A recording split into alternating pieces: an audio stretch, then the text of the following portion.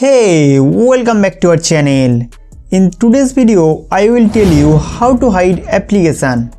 यानी कि इस फ़ोन में एप्लीकेशन और गेम को हाइड कैसे करें? तो सबसे पहले आपको फ़ोन के सेटिंग्स में जाना होगा।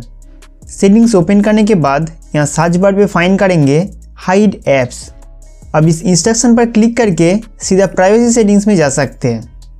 या तो फ़ोन सेटिंग्स ओपन करने के बाद स्क्रॉल करते हुए नीचे नीचे आइए। नेक्स्ट प्राइवेसी में जाना है। इसके बाद प्राइवेसी टैब ओपन करेंगे। प्राइवेसी प्रोटेक्शन के अंदर कई सारे फीचर्स देखने को मिलेगा। यहाँ से हम app lock, app hide and photo hide कर सकते हैं। अब हाइड एप्स पे क्लिक करिए। एप्लीकेशन हाइड करने से पहले privacy password and hide app access करने का पासकोड सेट करना होता है। यहाँ कॉर्नर पे सेटिंग्स में जाइए। Next privacy password. इसके बाद turn on privacy password. Password type में पैटर्न नंबर पासवर्ड और एल्फान्यूमेरिक पासवर्ड को चूज़ करके सेट कर सकते हैं।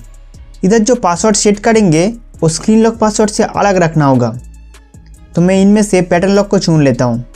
उसके बाद two time same pattern draw करके कॉन्फर्म कर देंगे। रिकवरी इन्फॉर्मेशन दोस्तों, अगर आप कभी भी प्राइवेसी पासवर्ड भूल जाते हैं, तब आप इन सारे ऑप्शंस के ज़रिए पासवर्ड रिकवर कर सकते हैं। सिक्योरिटी क्वेश्चन में कई सारे क्वेश्चन दी गई है। यहाँ पे अपने हिसाब से क्वेश्चन चूज़ करके आंसर लिख दीजिए। इसके बाद सेट रिकवरी ईमेल में जाके अपना वैलिड ईमेल आईडी एंटर करिए।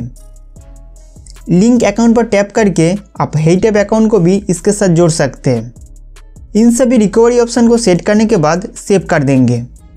सेट एक्सेस कोड इसके बाद हाइड किया हुआ एप्लीकेशन ओपन करने के लिए एक्सेस कोड सेट करना होगा, जो कि फ़ोन डॉलर पे डायल करते ही हिडन ऐप्स ओपन हो जाएगा। सबसे पहले हैज़ लगा के 16 डिजिट के बीच में एक्सेस कोड एंटर करना होगा।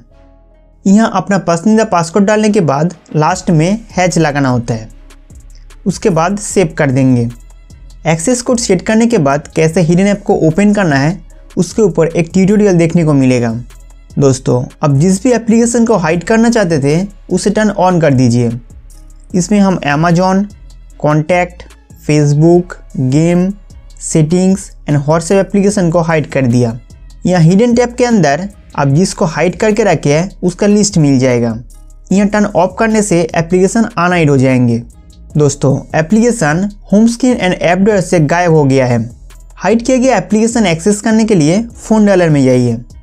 इसके बाद आपने जो पासवर्ड सेट किए थे, वो डाल देना। आप देखिए हाइड किया हुआ सभी एप्लीकेशन ओपन हो चुका है।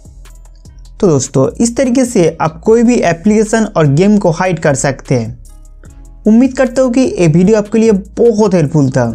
तो इस वीडियो को लाइक करके हमारा चैनल सब्सक्राइब करना ना भूलें।